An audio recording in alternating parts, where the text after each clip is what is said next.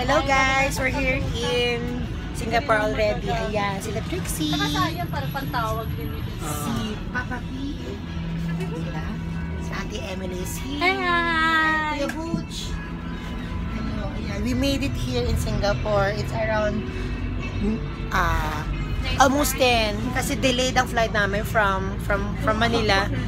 We should ano umalis kami dapat ng 3 PM pero nag nakalipat na kami ng runway by 5 PM. I don't know for some reasons kasi traffic daw yung congested daw yung yung traffic controller. Yeah, but Changi International Airport po kami. We're off to the hotel. Huwag ko na sabihin ng hotel namin baka may magpunta. Anyway, ayan. Ayan ang ano, ayan ang Changi International Airport. Actually, this is one of my favorite airport all over the world. Napakalaki niyan. Terminal 1, So we're we're ha- we're we're here sa shuttle ng hotel. Shuttle bus ng hotel. We're off to the hotel. Okay naman yung flight namin. Uh-uh. Nakatakot lang. Nakatakot lang, maano turbulence, di ba? Ayan. Ayan, papunta na kami ng ano. I'm so excited to be back here in Singapore kasi the last time was two years ago. True, no? Laging ganon. Mm-mm.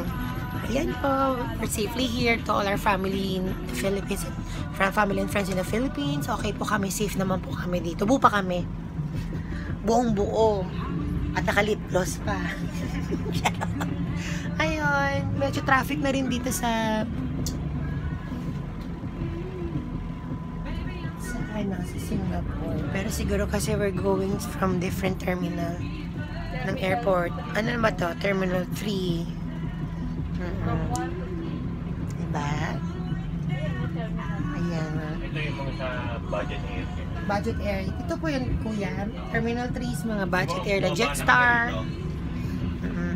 Pero ano kami, PAL kami, Philippine Airlines. Yan ang ganyan mga flowers. Kaya na, nandito na talaga kami sa anong taxi. Transclub Cab. Yun lang. Nandito kami for a week. One week pa tayo dito. Kanda nito si Pai mo, o 21 days yung sabi. One week dito, one week sa Malaysia, Yeah. one week sa Bangkok.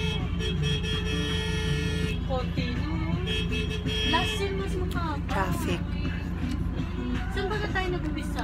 Sige po, for more fun, I'll, I'll send you some videos again, yeah? Mm-mm. Yun lang, nakakatuwa kasi excited talaga ako to be here in Singapore. Tsaka mas mahaba din dito. Nasa 12 days ang trabaho natin. Okay naman po kami. Kaya yung... Kaya... Traffic na rin dito sa Singapore, see?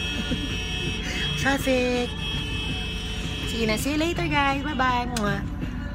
Ulit ka lang ah.